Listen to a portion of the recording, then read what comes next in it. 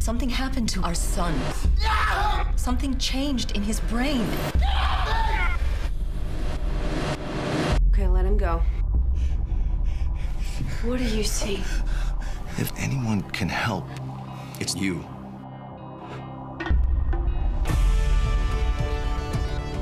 I'm honored tonight to introduce the director of the Neuroscience Research and Treatment Center, commonly known as the Cube. Her articles and books documenting an array of astonishing cases have earned her the nickname the Marco Polo of the Brain. Please welcome Dr. Catherine Black. I study extraordinary brains so I can learn about normal ones. And every day I struggle with this very word normal.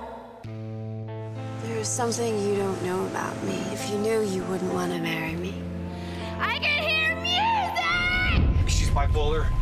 She needs haloperidol or lorazepam. You don't understand! Get off me! When I'm taking my meds, I'm fine. But I have a history of non-compliance. Why in God's name would you ever go off your meds? Because it is an incredible high. I do my best work. Life is beautiful. But sometimes I do very bad things.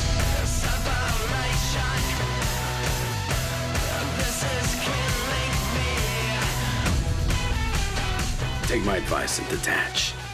Emotions get in the way of everything. God, you're a pathological creep. Dominating bitch.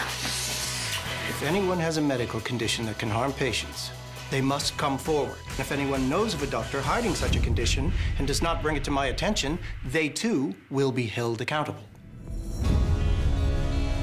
Normalizing does not doom you to mediocrity. It allows you to live long enough to do some of your best work.